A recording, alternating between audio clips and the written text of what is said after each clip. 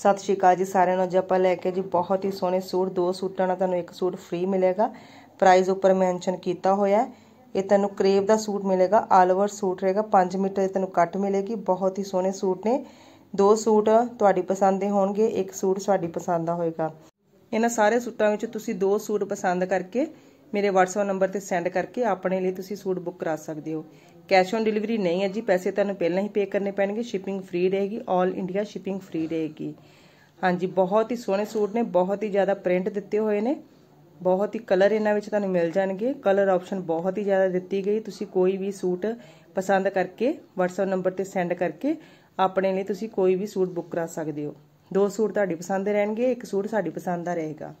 ਹਾਂਜੀ, ਜਿਹੜੇ ਅਗਲੇ ਸੂਟ ਨੇ, ਇਹ ਤੁਹਾਨੂੰ ਮਿਲਣਗੇ। ਜਾਰਜਟ ਦਾ ਤੁਹਾਨੂੰ ਸੂਟ ਮਿਲੇਗਾ, ਬਹੁਤ ਹੀ ਸੋਹਣਾ ਦੁਪੱਟਾ ਨਾ ਰਹੇਗਾ। ਦੁਪੱਟੇ ਦੇ ਉੱਪਰ ਵੀ ਬਹੁਤ ਹੀ ਸੋਹਣਾ ਐਮਬ੍ਰੋਇਡਰੀ ਵਰਕ ਕੀਤਾ ਗਿਆ ਸ਼ਰਟ ਦੇ ਉੱਪਰ ਵੀ ਬਹੁਤ ਹੀ ਸੋਹਣਾ ਵਰਕ ਕੀਤਾ ਗਿਆ ਪ੍ਰਾਈਸ ਸਾਰੇ ਸੂਟਾਂ ਦੇ ਉੱਪਰ ਮੈਂਸ਼ਨ ਕੀਤਾ ਹੋਇਆ ਤੁਸੀਂ ਪ੍ਰਾਈਸ ਚੈੱਕ ਕਰਕੇ ਆਪਣੇ ਲਈ ਕੋਈ ਵੀ ਸੂਟ ਬੁੱਕ ਕਰਾ ਸਕਦੇ ਹੋ।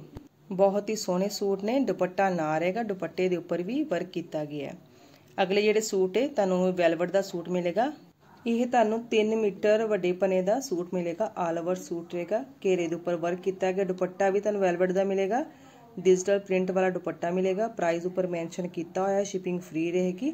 ਹਾਂਜੀ, ਅੱਜ ਦੇ ਸੂਟ ਤੁਹਾਨੂੰ ਕਿਸ ਤਰ੍ਹਾਂ ਦੇ ਲੱਗੇ? ਵੀਡੀਓ ਲਾਈਕ ਕਰਿਓ ਸ਼ੇਅਰ ਕਰਿਓ। ਜੇਕਰ ਤੁਸੀਂ ਮੇਰੇ ਚੈਨਲ ਤੇ ਪਹਿਲੀ ਵਾਰ ਆਏ ਹੋ ਪਲੀਜ਼ ਚੈਨਲ ਨੂੰ ਸਬਸਕ੍ਰਾਈਬ ਕਰਿਓ। ਵੀਡੀਓ ਦੇਖਣ ਦਾ ਬਹੁਤ ਬਹੁਤ ਧੰਨਵਾਦ।